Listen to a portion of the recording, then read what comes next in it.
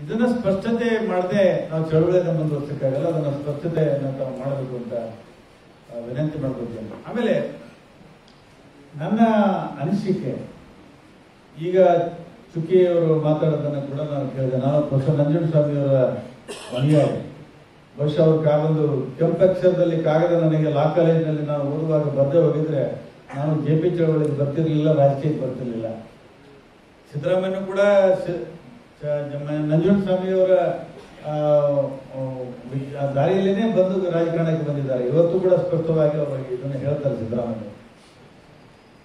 ಹಾಗಾಗಿ ಇವತ್ತು ಏನು ಹಳಿ ತಪ್ಪಿ ಹೋಗಿದೆ? ವರ್ಷ ಸ್ವಾತಂತ್ರ್ಯ ಬಂದ ನಂತರ ನಾವು ಗಾಂಧಿ ಆರ್ಥಿಕ ನೀತಿಯಲ್ಲಿ ಮುಂದುವರ್ಕೊಂಡು ಬಂದಿದ್ರೆ ಈ ತರ ಚೈನಾ ಮತ್ತು ಜಪಾನ್ ತರ ನಾವು ಕೂಡ ಉದ್ಯೋಗದ ಸಮಸ್ಯೆಯನ್ನು ಬಗೆಹರಿಸ್ಕೊಳ್ಬೋದಾಗಿತ್ತು. ನಮ್ಮ ಆರ್ಥಿಕ ಭದ್ರತೆಯನ್ನು ಮಾಡಿಕೊಂಡು ಇವತ್ತು ಎಲ್ಲರಿಗೂ ಕೂಡ ಇಲ್ಲಿ ಒಂದು ನೆಮ್ಮದಿ ಜೀವನವನ್ನು ಕಳಲಿಕ್ಕೆ ಸಾಧ್ಯತೆ ಇತ್ತು. ಆದರೆ ಅಂದಿನ ಕಾಲದ ಬದಲಾವಣೆ ಅನಿವಾರ್ಯಗಳ ಕಾರಣಕ್ಕಾಗಿ ಹೊಸ ಹೊಸ ವಿಚಾರಗಳು ಬಂದು, ದೊಡ್ಡ ದೊಡ್ಡ ಕಾರ್ಖಾನೆಗಳು ಬಂದು, ಕೊನೆಗೆ ಅವು ಕಾರ್ಖಾನೆಗಳು ಕೂಡ ನಿಂತು ಹೋದವು ಇನ್ನು ಎಲ್ಲ ಕಾರ್ಖಾನೆಗಳು ನಿಂತು ಹೋಗ್ಲಿಕ್ಕೆ ಬಂದಿದ್ದಾವೆ. ಚುಕ್ಕಿ ನಂಜುಂಡಸ್ವಾಮಿ ಅವರು ಹೇಳಿದಂತ ವಿಷಯಕ್ಕೆ, ಯಾಕಂದ್ರೆ ನಾನು ಕೃಷಿ ಕುಟುಂಬದಿಂದ ಬಂದಂತವನು ಇವತ್ತು ಕೃಷಿ ಎಷ್ಟು ಬಿಕ್ಕಟ್ಟಲ್ಲಿದೆ ಅಂತಂದ್ರೆ, ಇನ್ನು ಮುಂದೆ ಮಾಡೋದಕ್ಕೆ ಸಾಧ್ಯವೇ ಇಲ್ಲ ಅನ್ನುವಂತ ಬಿಕ್ಕಟ್ಟಲ್ಲಿ ಕೃಷಿ ಬಂದು ನಿಂತಿದೆ. ದುರ್ದೈವ ಇದೇ ಸಮ್ಮಿಶ್ರ ಸರ್ಕಾರದಲ್ಲಿ ನಮ್ಮ ಕೃಷಿ ಸಚಿವರು ಒಂದು ಹೇಳಿಕೆಯನ್ನು ಕೊಟ್ಟರು. ಸಣ್ಣ ಮತ್ತು ಅತಿ ಸಣ್ಣ ರೈತರು, ಯಾರಿಗೆ ಕೃಷಿ ಮಾಡೋದಕ್ಕಾಗದ್ರೆ ನೀವು ಕಂಪನಿಗಳಿಗೆ ಕೊಡಬಹುದು ಅನ್ನುವಂಥ ಮಾತನ್ನು ಹೇಳಿದರು. ನಮಗೆ ಆಶ್ಚರ್ಯ ಆಯಿತು. ಅಂದ್ರೆ ಒಂದು ಸರ್ಕಾರಗಳ ಬಾಯಿಂದ ಕಂಪನಿಯವರು ಹೇಳ್ತಾ ಇದ್ದಾರೆ, ನಿಮ್ಮ ಭೂಮಿಯನ್ನು ನಮ್ಗೆ ಕೊಡ್ರಿ, ನಾವು ಕೃಷಿಯನ್ನು ಮಾಡ್ತೀವಿ ಅನ್ನೋಂಥ ಮಟ್ಟಕ್ಕೆ ನಾವು ಹೋಗಿರುವಾಗ ಹೊಸ ಕೃಷಿ ಬಗ್ಗೆ ಇದು ಬಹಳ ದೀರ್ಘವಾಗಿ ಆಲೋಚನೆ ಮತ್ತು ಚರ್ಚೆ ಕೂಡ ನಡಿಬೇಕಾಗಿದೆ. ನಾನು ಹೆಚ್ಚಿಗೆ ಸಮಯ ತೆಗೆದುಕೊಳ್ಳೋದಿಲ್ಲ, ಯಾಕಂದರೆ ನಾನು ಸಾಂದರ್ಭಿಕ ಮಾತುಗಾರ ಇದೆ ನಾವು ಕೂಡ ಬರುವ ಹದಿನಾಲ್ಕು ಮತ್ತು ಹದಿನೈದನೇ ತಾರೀಕಿನ ದಿವಸ ಇಲ್ಲಿ ಅವರು ನಾವೆಲ್ಲ ಸಮಾಜವಾದಿ ಚಳವಳಿ ಅವ್ರ ಜೊತೆಗೆ ಇದ್ದಂಥವ್ರು ಅವರ ನರ್ಮದಾ ನದಿ ಹೋರಾಟದಲ್ಲಿ ಕೂಡ ನಾನು ಬಂದು ಭಾಗವಹಿಸಿದ್ದೀನಿ. ನನ್ನ ಪೂರಿಯಲ್ಲಿ ನಡೆದಂತ N A P M meeting ಅಲ್ಲಿ ಕೂಡ ನಾನು ಹೋಗಿ ಭಾಗವಹಿಸಿದ್ದೀನಿ. ವರ್ಲ್ಡ್ ಸೋಷಿಯಲ್ ಅಲ್ಲಿ ಕೂಡ ಎನ್ ಎ ಪಿ ಎಂ ಅವ್ರ ಜೊತೆಗೆ ನಾನು ಇದು ಕೆಲಸ ಮಾಡಿದ್ದೀನಿ. ನಾವು ಹದಿನಾಲ್ಕು ಮತ್ತು ಹದಿನೈದು, ಇದೇ ಗಾಂಧಿ ಭವನದಲ್ಲಿ ಒಂದು ಸಮಾಜವಾದಿ ಸಮಾಗಮವನ್ನು ಮಾಡ್ತಾ ಇದ್ದೀವಿ. ಮೇಧಾ ಪಾಟ್ಕರ್ ಅವರು ಹಿಂದೆ ನಡೆದಂತ ಎಲ್ಲ ಸಮಾಗಮಗಳಲ್ಲಿ ಬಂದಿದ್ದಾರೆ. ಡೆಲ್ಲಿಯಲ್ಲಿ ಬಂದಿದ್ದಾರೆ. ಇಂದೋರ್ದಲ್ಲಿ ಬಂದಿದ್ದಾರೆ. ಆಮೇಲೆ ಬೇರೆ ಬೇರೆ ಕಡೆ, ಎಲ್ಲ ಕಡೆ ಕೂಡ ಬಂದಿದ್ದಾರೆ. ಬಹುಶಃ ಅವರಿಗೂ ಕೂಡ ವಿನಂತಿ ಮಾಡ್ಕೊಂಡಿದ್ದೀವಿ, ತಾವು ಬರಲೇಬೇಕು ಅಂತೇಳಿ. ಹದಿನಾಲ್ಕು, ಹದಿನೈದು ಗಾಂಧಿ ಭವನದಲ್ಲಿ ಸಮಾಜವಾದಿ ಸಗ- ಸಮಾಗಮ ನಡೀತದೆ. ಪ್ರೊಫೆಸರ್ ಆನಂದ್ ಕುಮಾರ್ ಅವರು ಕಾರ್ಯಕ್ರಮವನ್ನು ಉದ್ಘಾಟನೆ ಮಾಡ್ತಾರೆ. ರಾಜ್ಕುಮಾರ್ ಜೈನ್ ಅವರು ಬರ್ತಾ ಇದ್ದಾರೆ. ಮತ್ತು ಅನೇಕ ಜನ ಚಿಂತಕರು ಕೂಡ ಬರ್ತಾ ಇದ್ದಾರೆ. ಇವತ್ತು ಕೂಡ ನಾವು ಯೋಗೇಂದ್ರ ಯಾದವ್ರನ್ನ ಕೂಡ ಕಾರ್ಯಕ್ರಮಕ್ಕೆ ಕರೆಸಬೇಕು ಅನ್ನುವಂಥ ಪ್ರಯತ್ನ ಇದೆ. ಬಂದ್ರೆ ಸಂತೋಷ. ತಾವು, ನಾನು ತಮ್ಮಲ್ಲಿ ವಿನಂತಿ ಮಾಡ್ಕೊತಾ ಇದ್ದೇನೆ. ಈ ತರ ಚಿಂತೆ, ಚರ್- ಚರ್ಚೆಗಳು ಚರ್ಚೆಗಳು ಬಹಳಷ್ಟು ಕಡೆ ನಡೆದಿದ್ದಾವೆ. ಆದರೆ ಸಾಮೂಹಿಕವಾಗಿ ನಡೀತಾ ಇಲ್ಲ. ಒಂದು ಪ್ರಸನ್ನ ಅವರೇ ನಾನ್ ಪೊಲಿಟಿಕಲ್ ಆಗ್ತಿರ್ತಾವ. ಒಂದು ಸಾಮೂಹಿಕವಾಗಿ ನಿಮ್ಮಂಥವ್ರು ದೊರೆಸ್ವಾಮಿ ಅಂತವರು, ಈ ಈ ತರ ಯೋಚನೆ ಮಾಡೋಂಥವ್ರನ್ನೆಲ್ಲ ಕರೆದು ಒಂದ್ ಕಡೆ ಸೇರಿಸಿ. ಸಾಮೂಹಿಕವಾಗಿ ನಾವು ಯಾವ ತರ ಇದನ್ನ ಕೈಗೆತ್ಕೊಂಡು ಈ ಸಮಸ್ಯೆಯನ್ನು ಎದುರಿಸಬಹುದು ಅನ್ನೋದನ್ನ ತಾವು ಆಲೋಚನೆ ಮಾಡಬೇಕು ಅನ್ನುವಂಥ ಮಾತನ್ನ ಸಂದರ್ಭದಲ್ಲಿ ಹೇಳ್ತಾ ತಮ್ಮಲ್ಲಿ ಕೂಡ ವಿನಂತಿ ಮಾಡಿಕೊಳ್ತೇನೆ ಹದಿನಾಲ್ಕು ಮತ್ತು ಹದಿನೈದು ತಾರೀಕಿನ ದಿವಸ ಗಾಂಧಿ ಭವನದಲ್ಲಿ ಇದೇ ತರ ಒಂದು ನಾವೊಂದು ಸೋಷಲಿಸ್ಟ್ ಮ್ಯಾನಿಫೆಸ್ಟೋ ಅನ್ನೋದನ್ನು ನಾವು ಚರ್ಚೆಗೆ ಚರ್ಚೆಗಿಡೋದು. ಪ್ರೊಫೆಸರ್ ಆನಂದ್ ಕುಮಾರ್ ಅವರು ಈ ಸೋಷಲಿಸ್ಟ್ ಮ್ಯಾನಿಫೆಸ್ಟೋವನ್ನು ಪ್ರೆಸೆಂಟ್ ಮಾಡ್ತಾರೆ. ಅದ್ರ ಬಗ್ಗೆ ಚರ್ಚೆ ಆಗ್ತದೆ. ಮತ್ತು ಬೇರೆ ಬೇರೆ ಕಾಶ್ಮೀರದ ವಿಷಯ ಬಗ್ಗೆ ಕೂಡ ಚರ್ಚೆ ಆಗ್ತದೆ. ಇವತ್ತು ಕಾಶ್ಮೀರದ ಜಮ್ಮ, ಶ್ರೀನಗರದಲ್ಲಿ ನಮ್ಮದೇ ಆದಂಥ ಸ್ನೇಹಿತ ತಂಡ ಹೋಗಿದೆ, ಗುಡ್ಡಿ ವೈಂಬಿಯೇ ಸ್ವಲ್ಪ ವಿಷಯ ಮೂರು ಜನ ಮಹಿಳೆಯರು ಮತ್ತು ಇಬ್ಬರು ಮೂರು ಜನ ಪುರುಷರು. ಆ, ಜ- ಶ್ರೀನಗರ ತಲುಪಿದ್ದಾರೆ. ಕೆಲವರಿಗೆ ದಾರಿಯಲ್ಲಿ ತಡೆದು ವಾಪಸ್ ಕಳಿಸಿದ್ದಾರೆ. ಒಂದು ತಂಡ ಸಕ್ರಿಯವಾಗಿ ಅಲ್ಲಿ ಓಡಾಡ್ತಾ ಇದೆ. ಪತ್ರಕರ್ತರ ಜೊತೆಗೆ ರಾಜಕೀಯ ಮುಖಂಡರ ಜೊತೆಗೆ ಸಾರ್ವಜನಿಕರ ಜೊತೆಗೆ ಚರ್ಚೆ ಮಾಡ್ತಾ ಇದ್ದಾರೆ. ಆ ಕಾಶ್ಮೀರಿ ಬಗ್ಗೆನೂ ಕೂಡ ಅಲ್ಲಿ ಬರುವ ಹದಿನಾಲ್ಕು ಹದಿನೈದರಂದು ಚರ್ಚೆ ಆಗ್ತದೆ. ಅದಕ್ಕೆ ನಾನು ತಮ್ಮಲ್ಲಿ ವಿನಂತಿ ಮಾಡ್ಕೊತಾ ಇದ್ದೀನಿ. ಮೈಕಲ್ ಆ, ಅಧ್ಯಕ್ಷರಾಗಿದ್ದಾರೆ, ನಾನು ಕಾರ್ಯಾಧ್ಯಕ್ಷನಾಗಿದ್ದೀನಿ ಕಾರ್ಯಕ್ರಮದ್ದು ಕಾಳಪ್ಪ ಅವರು ಕೂಡ ಇಲ್ಲೇ ಇದ್ದಾರೆ, ಸಕ್ರಿಯವಾಗಿ ಅದರಲ್ಲೆಲ್ಲ ತೊಡಗಿಸ್ಕೊಂಡಿದ್ದೀವಿ ಪ್ರಕಾಶ್ ಅವರು ಇದ್ದಾರೆ. ಹದಿನಾಲ್ಕು, ಹದಿನೈದು, ತಾವು ಇದೇ ವಿಚಾರದ ಬಗ್ಗೆ ಕಾರ್ಯಕ್ರಮ ನಡೀತದೆ, ತಾವೆಲ್ಲ ಬಂದು ಭಾಗವಹಿಸಬೇಕು ಅಂತ ಹೇಳಿ ತಮ್ಮಲ್ಲಿ ವಿನಂತಿ ಮಾಡಿಕೊಂಡು ನಾವು ಯಾವತ್ತು ಪ್ರಸನ್ನ ಅವ್ರ ಜೊತೆಗೆ ಇದ್ದೇವೆ. ಆದರೆ ಬಹಳಷ್ಟು ನೀರು ಹರಿದು ಹೋಗಿದೆ. ಸಮಸ್ಯೆಗಳು, ಎಲ್ಲ ಜಗತ್ತಿನ ಬಾಗಿಲುಗಳು ತೆರೆದಿದ್ದಾವೆ. ಇವತ್ತು ನಮ್ಮದೇ ಆರ್ಥಿಕ ನೀತಿಯನ್ನು ನಾವು ಗಟ್ಟಿಯಾಗಿ ಉಳಿಸ್ಕೋಬಹುದಾ ಅನ್ನುವಂಥದ್ದು ಕೂಡ ಒಂದು ಪ್ರಶ್ನೆ ಇದೆ. ಒಟ್ಟಾರೆ ಭಾರತೀಯ ಸಂದರ್ಭದಲ್ಲಿ ನಮ್ಮ ಆರ್ಥಿಕ ನೀತಿಯನ್ನು ಯಾವ ಥರ ನಾವು ಉಳಿಸ್ಕೋಬೇಕು ಅದನ್ನು ಬೆಳೆಸಬೇಕು ಅನ್ನೋದನ್ನು ನಾವು ಒಂದು ಕಡೆ ನಿಂತು ನೋಡೋದು ಒಂದು ಜೊತೆಗಾದರೆ ಇನ್ನೊಂದು ಬಹಳ ದೊಡ್ಡ ಸಮಸ್ಯೆ ಅಂತಂದರೆ ಕೋಮುವಾದ. ಈ ಕೋಮುವಾದವನ್ನು ಯಾವ ಥರ ಎದುರಿಸಬೇಕು ಅನ್ನೋದನ್ನು ಕೂಡ ನಾವು ಬಹಳ ಸುಮುಖವಾಗಿ ಚರ್ಚೆ ಮಾಡಬೇಕಾಗಿದೆ. ಈ ಎರಡು ವಿಷಯಗಳ ಬಗ್ಗೆ ಅಲ್ಲಿ ಚರ್ಚೆ ಆಗ್ತದೆ, ತಾವು ದಯಮಾಡಿ ಬಂದು ಭಾಗವಹಿಸಬೇಕು ಅಂತ ತಮ್ಮಲ್ಲಿ ವಿನಂತಿ ಮಾಡಿಕೊಂಡು ನನ್ನ ಎರಡು ಮಾತುಗಳನ್ನು ಮುಗಿಸ್ತೇನೆ ಪಿ ಆರ್ ಪಾಟೀಲ್ ಅವರಿಗೆ ಧನ್ಯವಾದಗಳು. ಇಲ್ಲಿಗೆ ಈ ಗೋಷ್ಠಿಯನ್ನು ಮುಗಿಸುವುದಕ್ಕೆ ಮುಂಚೆ ನಾಗನಾಥ್ ಹಿಂದ್ ಮಜ್ದೂರ್ ಸಭಾದ ಇವರು ಅವರೊಂದೆರಡು ಮಾತಾಡ್ತಾರೆ. ಆ ನಂತರ ಕಡೆಯ ಸಮಾ, ಸಮಾರೋಪದ ಗೋಷ್ಠಿ ಶುರುವಾಗುತ್ತೆ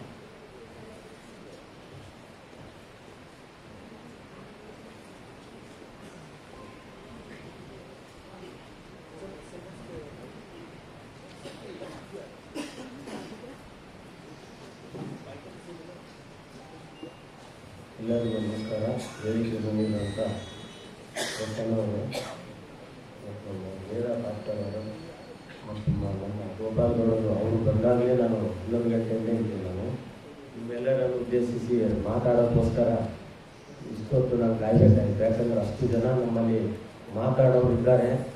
ಎರಡನೇದಾಗಿ ಏನಂದರೆ ನಮ್ಮ ಟ್ರೇಡ್ ಯೂನಿಯನ್ ಅವರು ಎಲ್ಲ ಸೇರಿ ನಾವು ಲಾಸ್ಟ್ ಟೈಮ್ ಇಪ್ಪತ್ತನೇ ತಾರೀಕು ಇಲ್ಲೊಂದು ಸಮಾವೇಶ ಮಾಡಿದ್ವಿ, ರಾಜ್ಯ ಸಮಾವೇಶ. ಎಂಟು ಜನವರಿ ಎಂಟನೇ ತಾರೀಕು ಆಲ್ ಓವರ್ ಇಂಡಿಯಾದಲ್ಲಿ ನಾವು ಸ್ಟ್ರೈಕ್ ಮಾಡ್ತಾ ಇದ್ದೀವಲ್ಲ, ಸೇರಿಬಿಟ್ಟು. ಅವತ್ತಿನ ದಿವಸಕ್ಕಿಂತ ಇವತ್ತು ಜನ ಎಷ್ಟು ಸೇರಿದ್ದೀರಂದರೆ ಒಂದೇ ಒಂದು ನಿಮ್ಮ ಈ ಗ್ರಾಮ ಸೇವಕ ಸಂಘ ಅನ್ನೋದು ನಮಗಿಂತನೂ ಜಾಸ್ತಿ ಪವರ್ಫುಲ್ ಇದೆ ಅನ್ನೋದನ್ನ ನಮಗೆ ಇವತ್ತು ಗೊತ್ತಾಗಿದೆ ಯಾಕಂದ್ರೆ ಥರ ನಾವೆಲ್ಲ ಸೇರಿ ನಿಮ್ಮ ಜೊತೆ ಇದ್ದು ನೀವೆಲ್ಲ ನಮ್ಮ ಜೊತೆ ಇದ್ರೆ ನಿಜವಾಗ್ಲೂ ಈ ದೇಶದಲ್ಲಿ ಇರುವಂತಹ ಈ ಆರ್ಥಿಕ ಪರಿಸ್ಥಿತಿಯನ್ನ ಕಂಪ್ಲೀಟ್ ಚೇಂಜ್ ಮಾಡೋಕ್ಕೆ ಗ್ಯಾರಂಟಿ ನಾನು ಕೊಡ್ತಾ ಇದ್ದೀನಿ. ಯಾಕಂದ್ರೆ ಇವತ್ತು ನಾವು ಹೋರಾಟ ಮಾಡ್ತಾ ಇದ್ವಿ ಎಲ್ಲ joint trade committee trade union ಎಲ್ಲ ಸೇರಿ. ಮೂರು ಮೂರು ದಿವಸ ಪಾರ್ಲಿಮೆಂಟ್ ಹತ್ರ ಕೂತ್ಕೊಂಡು ಒಂದು ಲಕ್ಷ ಒಂದು ಲಕ್ಷ ಇಪ್ಪತ್ತು ಸಾವಿರ ಒಂದು ದಿವಸ ಎಂಟೆಂಟು ಸ್ಟೇಟ್ನವರು ಎರಡು ಸಾವಿರ ಹದಿನೆಂಟರಲ್ಲಿ ಸ್ಟ್ರೈಕ್ ಮಾಡಿದ್ದಕ್ಕೂ ಅವತ್ತಿನ ದಿವಸ ಮೋದಿ ಅವರು ಒಂದು ಮಾನವೀಯತೆಯಿಂದ ಆದರೂ ಕರೆದು ನಮಗೊಂದು ಲೀಡರ್ ಕರೆದು ಮಾತಾಡಲಿಲ್ಲ, ಯಾವ ಸಮಸ್ಯೆನೂ ಪರಿಹಾರ ಮಾಡಲಿಲ್ಲ. ಇವತ್ತಿನ ಪರಿಸ್ಥಿತಿ ಹೆಂಗಾಗಿದೆ ಅಂದ್ರೆ ಮಹಾತ್ಮ ಗಾಂಧಿಯವರು, ಮುಂದೆ ನಮ್ಮ ಅಂಬೇಡ್ಕರ್ ಅವರು ಎಲ್ಲ ಸೇರಿ ಹೋರಾಟ ಮಾಡಿ ನಮ್ಮ ದೇಶಕ್ಕೆ, ನಮ್ಮ ನಮ್ಮ ಜನಕ್ಕೆ ಒಂದು ಸ್ವಾತಂತ್ರ್ಯವನ್ನು ಕೊಡಿಸಿದ್ರು. ಆ ಸ್ವಾತಂತ್ರ್ಯ ನಮಗೆ ಇಲ್ಲದಂಗ ಆಗಿದೆ ಈ ಪರಿಸ್ಥಿತಿಯಲ್ಲಿ. ಆ ಸ್ವಾತಂತ್ರ್ಯ ಎಲ್ಲಿ ಹೋಯಿತು, ಯಾರಿಗೋಸ್ಕರ ಅವರು ಕೊಡಿಸಿದ್ದಾರೆ ಅಂದ್ರೆ ಬರೀ ರಾಜಕೀಯ ಈ ಥರ ಇವರು ಆಳ, ಆಳಕ್ಕೋಸ್ಕರ ಕೊಟ್ಟಿದ್ದಾರ? ಯಾವ ತರ ಭಾಗ ಆಯ್ತು, ಎಷ್ಟು ಪಾರ್ಟಿಗಳಾಗಿ ನಮ್ಮ ಬಡ ಕೆಲಸ ಮಾಡುವಂತ ಜನಗಳಿಗೆ ಯಾವ ತರ ತೊಂದರೆ ಆಗ್ತದೆ, ಯಾವ ತರ ಹಿಂಸೆ ಆಗುತ್ತೆ ಅನ್ನೋ ಬಗ್ಗೆ ಯಾರು ಯೋಚನೆ ಮಾಡಲಾರಂತ ಪರಿಸ್ಥಿತಿ ಬಂದಿದೆ. ಇವಾಗ ಅಸಂಘಟಿತ ಜನ ಕಾರ್ಮಿಕರ ಬಗ್ಗೆ ತಗೊಂಡ್ರೆ, ನಾವು ಇವತ್ತು ಇವಾಗ ಎಲ್ಲ ಕಾರ್ಮಿಕರು ಒಂದು ಒಟ್ಟು, ಒಟ್ಟಾಗಿ ನಾವು ಹೋರಾಟ ಮಾಡಬೇಕನ್ನೋದು ಒಂದು ಸಂಘಟನೆ ಮಾಡಿದ್ದೀರಾ? ಪ್ರಸನ್ನ ಅವರು ನಿಜವಾಗ್ಲೂ ಗ್ರೇಟ್ ಅನ್ಬೇಕು. ಅವರ ಒಂದು ಇದು ಅಧ್ಯಕ್ಷತೆಯಲ್ಲಿ ಅವರ ಒಂದು ನಾಯಕತ್ವದಲ್ಲಿ ಇದು ಸಕ್ಸಸ್ ಆಗ್ಬೇಕನ್ನೋಂತ ಹಿಂದೂ ಬಂಧು ಸಭಾದಿಂದ ನಾವು ಅವ್ರಿಗೆ ಹಾರೈಸ್ತಾ ಇದ್ವಿ ಅದರ ಜೊತೆಯಲ್ಲಿ ಎಲ್ಲಾ ಕಾರ್ಮಿಕರು ನೀವು ನೋಡಿದಂಗೆ ಅಸಂಘಟಿತ ಕಾರ್ಮಿಕರಂದ್ರೆ ಅವ್ರನ್ನೆಲ್ಲ ನೀವು ನೋಡಿದ್ರೆ ಕೃಷಿ ಕಾರ್ಮಿಕರು ಇರ್ಬೋದು ಗಾರ್ಮೆಂಟ್ಸ್ ಇರ್ಬೋದು ಕನ್ಸ್ಟ್ರಕ್ಷನ್ ವರ್ಕರ್ಸ್ ಇರ್ಬೋದು ಅವನ್ನೆಲ್ಲ ತಗೊಂಡಿದ್ರೆ ಸಂಘಟ, ಸಂಘಟಿತರು ವರ್ಕರ್ಸ್ಗಿಂತ ಅಸಂಘಟಿತ ಕಾರ್ಮಿಕರೇ ಜಾಸ್ತಿ ಇದ್ದಾರೆ ನಮ್ಮ ದೇಶದಲ್ಲಿ. ಅದನ್ನು ಯಾರು ಕಂಡುಹಿಡ್ತಾ ಇಲ್ಲ. ಅವರ ಮನೆಗಳಲ್ಲಿ ಇವಾಗ ನೋಡಿ ಬಿ ಡಿ ವರ್ಕರ್ಸ್ ಇದ್ದಾರೆ. ಆಮೇಲೆ ಇದು ಮಗ್ಗದಲ್ಲಿ ಕೆಲಸ ಮಾಡೋರು ಇದ್ದಾರೆ. ಎಲ್ಲೋ ಜನ ಮನೆಯಲ್ಲಿ ಕೂತ್ಕೊಂಡು ಕೆಲಸ ಮಾಡ್ತಾರೆ. ಬಿ ಡಿ ಕಾರ್ಮಿಕರು ಇರ್ಬೋದು ಅಗರಬತ್ತಿ ಕಾರ್ಮಿಕರು, ಎಷ್ಟೋ ಜನ ಇದ್ದಾರೆ. ಅವರ ಅಲ್ಲಿವರೆಗೂ ನಮ್ಮ ಈ ಬೇಡಿಕೆ, ನಮ್ಮ ಈ ಹೋರಾಟ ಹೋಗ್ತಾ ಇಲ್ಲ ಸರಿಯಾಗಿ. ಕಮ್ಯುನಿಕೇಶನ್ ಆಗ್ತಾ ಇಲ್ಲ.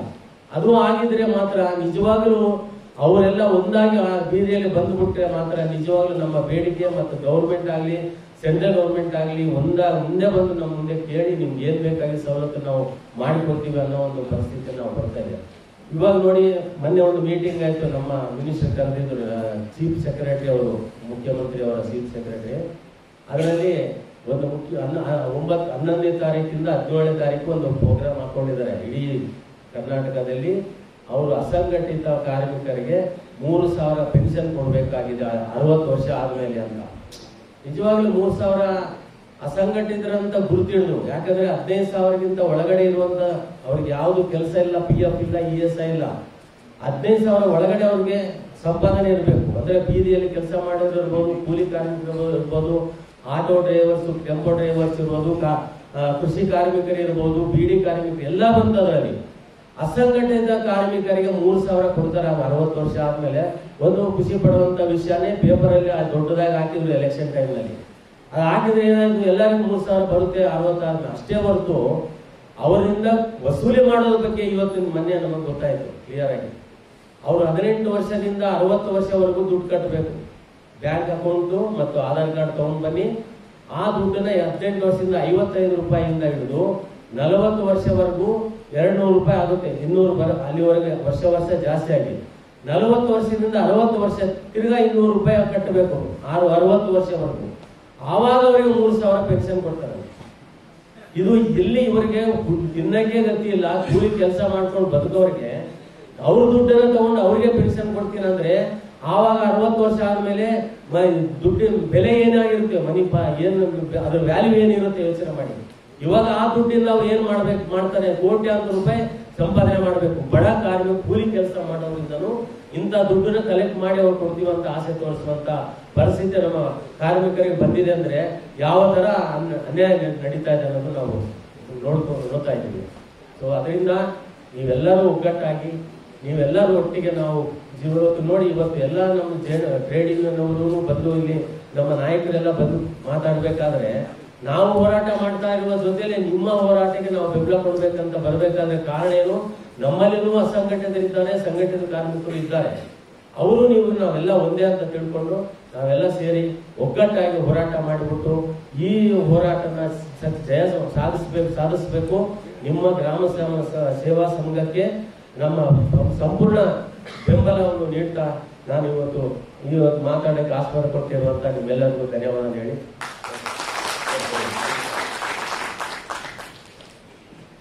ಧನ್ಯವಾದಗಳು. ಸ್ನೇಹಿತರೆ ಇವಾಗ ಕಾರ್ಯಕ್ರಮದ ಅಂತಿಮ ಘಟ್ಟಕ್ಕೆ ನಾವು ಬರ್ತಾ ಇದ್ದೇವೆ. ಬಹಳ ಪ್ರಮುಖವಾಗಿ